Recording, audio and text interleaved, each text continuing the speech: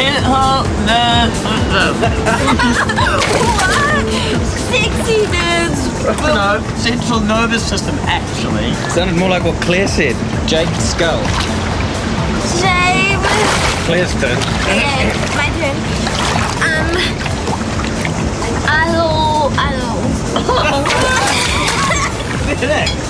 Skull. Oh, maybe we should flag the penalty. Hell no, I'm still in the running. I'll drink you guys under the water. Oh, I'll grab some more beer from the fridge. And get some more pizza while you're in there. And more limes. Anything else, Mr. Madame? No piking, lady.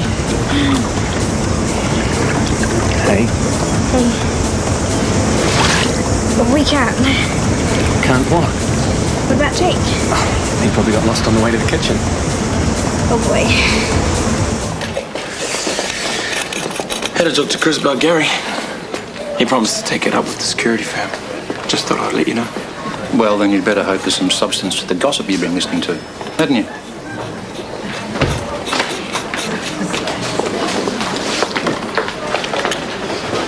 Excuse me. Are you? Um, I've been thinking, and I've decided that I could risk a rugby game with you. Maybe a, a night game next week. I might. Um, I know it's not the All Blacks, but it might be safer to start small, and maybe we could grab a bite to eat on the way. I don't think that's such a good idea. Oh, it's an even worse idea to scream for your team on an empty stomach. You know, it, it just sounds a bit too much like a date for me, Craig. Sorry. I uh, didn't think you were seeing anyone. If only it were that simple. Um, you know, maybe a coffee sometime instead.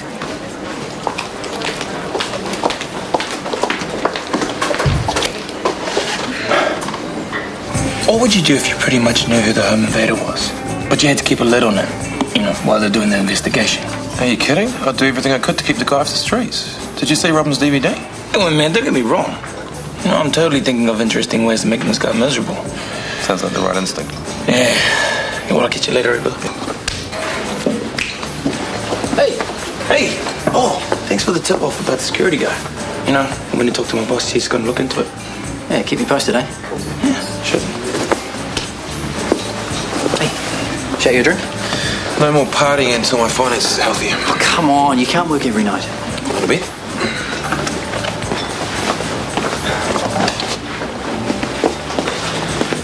Evening.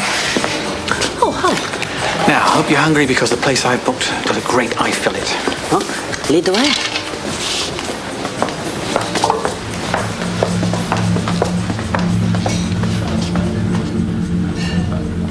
You know what you need to keep awake? Better.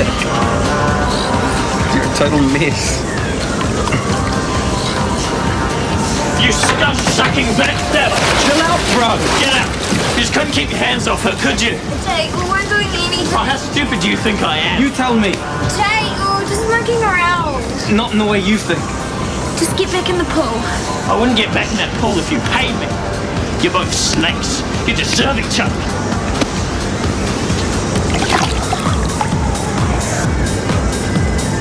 This is nice, isn't it? It's more pleasant in the atmosphere at work at the moment. Well, with this home invader business, you can't blame people for being on edge. I mean, especially nurses living alone. Yeah, I wouldn't be without my dog. What kind? A scruffy mongrel, bright as a button. Name? Shorty. Can I get you anything to drink? Oh, look, I'm happy to go non-alcoholic if you're worried about your early start.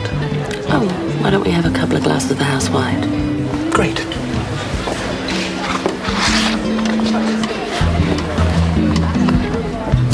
You've been trying to crack on to Claire since you got here. Don't think I haven't noticed. Don't flatter yourself, bro. I've got a girlfriend of my own. Why would I want yours? I don't know.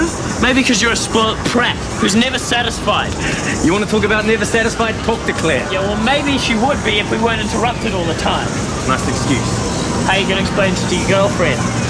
There's nothing to explain. Oh, I bet she's used to you cheating, right? You better get used to Claire being the same way, because you sure aren't man enough for her. Claire, we're leaving. You think you'll get a ride? Stink like a brewery. Then we'll sleep on the beach if we have to. Anywhere that's far away from you is fine. Hope you enjoy it. Claire, we're going. Better not be packing a sad. Claire!